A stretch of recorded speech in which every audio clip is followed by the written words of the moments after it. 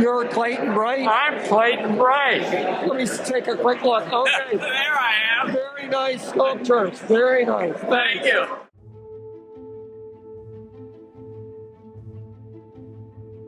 In the fall of 2021, I made a movie about a legacy show of artist and PAFA teacher Arthur DeCosta. Arthur's work was exhibited along with that of a number of artists who had studied with him. That is where I met the amazing J. Clayton Bright. And although he is a wonderful painter, as these images make clear, Clayton is primarily known for his sculpture.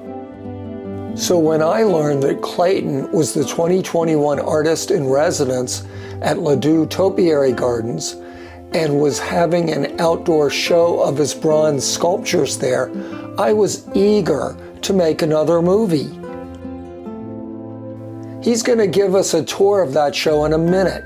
But first, there is one very important fact you need to understand about Clayton. He only works from direct observation and memory. Yawn at dawn. Our middle child, Reeves, had a yawn that involved her entire face when she was born, mouth wide open, nose wrinkled, eyes screwed up. It intrigued me, so I started a sculpture of her yawning. I should have focused on completing the sculpture quickly. The full face yawn gave way to just a normal yawn within five or six weeks, leaving me with an unfinished sculpture. Fast forward 32 years, Taya, Reeves's daughter, was born with the same yawn. I still had the unfinished sculpture in my studio and was not quite so laissez faire in my efforts this time.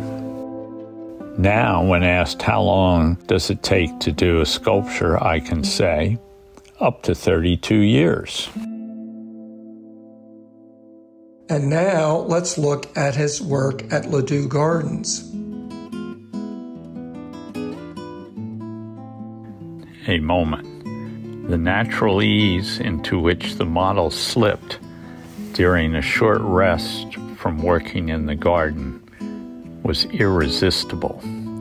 His entire body seems at rest and his mind completely free off somewhere. Miss Gratz. I interviewed 30 some cows before I found the one that reflected the vision I had.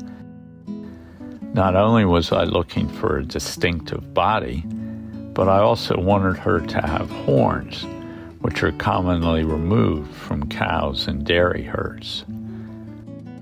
She was named for her birthplace, the Gratz State Fair. Red Fox. Foxes are an endless enjoyment to watch. They seem to possess an instinct that allows them to be bold one minute then cautious the next. When hunting, foxes can display total concentration. Books. Books create a feeling of calm and retreat. They both encourage and remind people of the enjoyment of reading. On the line. Hounds always seem happiest when they're working a scent trail. To watch them doing so is a constant fascination. Fox departing. Spotting a fox slip away ahead of the hounds is another high point in watching this endless duel. The cello player. The body language of musicians says as much about them as their music does. The cello is an instrument that has always held my interest, and cellists generally seem to be jovial souls. Mr. Woodward, Labradors are noted for their affability. They're always there to greet you, although when pulling on boots, their enthusiasm might be a bit too in your face. Jack o' lantern. Not all sculptures go as planned, and this is a good example of one that took its own direction. The loss of control posed an unexpected question. What kind of a lantern would a hare carry if it could carry a lantern? Phoebe.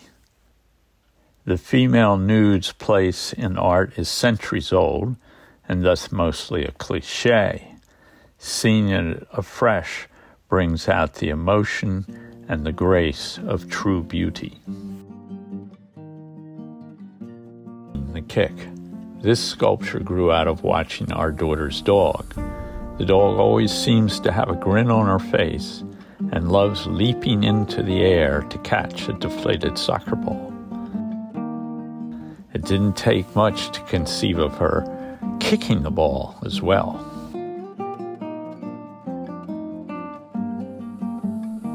Sweska is the dog's name, and if not for a trip to Colombia by Clayton's daughter Reeves, she'd not be immortalized in his art.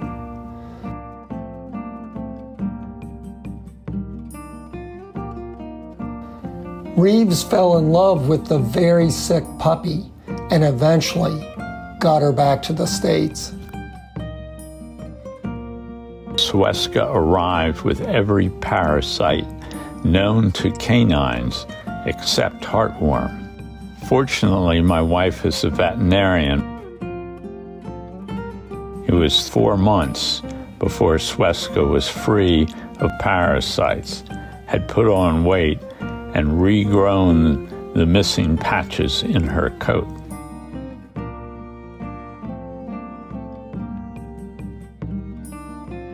Who's a good girl? Who's a good girl? You're a good girl, Sweska.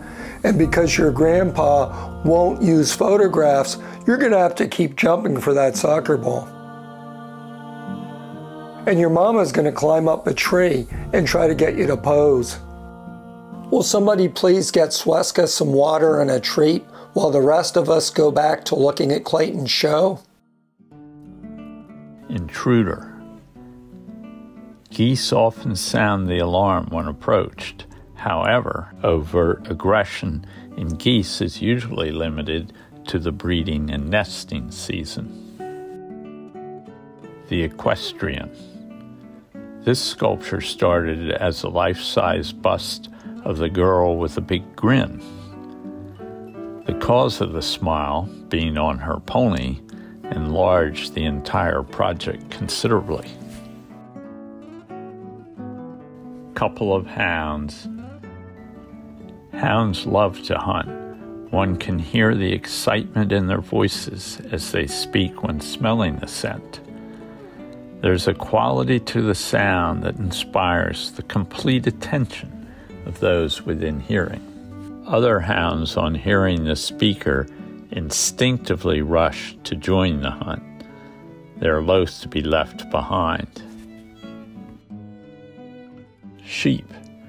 When someone approaches a flock of sheep, the tension and alarm in the sheep is quite palpable. I started sculpting these sheep in the spring. By the time I had finished, it was summer. Since the rest of the flock had already been shorn, I got to shear sheep for the first time. The third element. Watching a child's fascination with the water coming out of the bathtub faucet was a chance to watch the discovery of a contradiction. Water's visible solidity, but tactile fluidity. The title of the sculpture is derived from the ancient Greeks' listing of water as one of the elements that formed the world. Coursing greyhounds.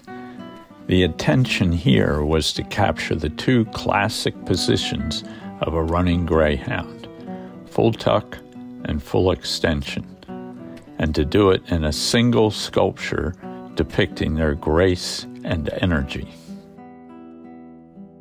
Preacher Kestrels are small falcons, now less common because of the lack of tree cavities to use as nesting sites. They often hunt by hovering in place as they scan the ground below for prey. Coffee shop dog. Dogs are dependable partners, patiently waiting outside coffee shops and stores for our return. In Peru, I noticed one sitting attentively outside a butcher shop. The butcher would occasionally flick the dog a scrap, so that instance might have been more a case of devotion to food. Justin the elusive fox. Foxes are born curious but become more cautious as they mature. Thus, they have a reputation of being both bold and elusive. As we come to the end of our tour of Clayton's Ladew Garden Show, it's hard not to wonder how he can depict foxes and other wild animals without the use of photography. Great Blue. Working only from life has its challenges good binoculars and patience are immensely important sometimes. I'm lucky to see heron frequently at the pond below our house and along the neighboring streams.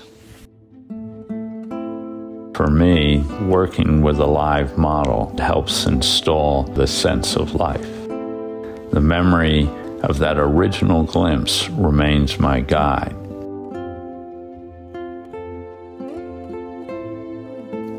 And although Clayton's path between his remembered glance and his final installed bronze sculpture is very arduous, the life that he so loves to express is always there.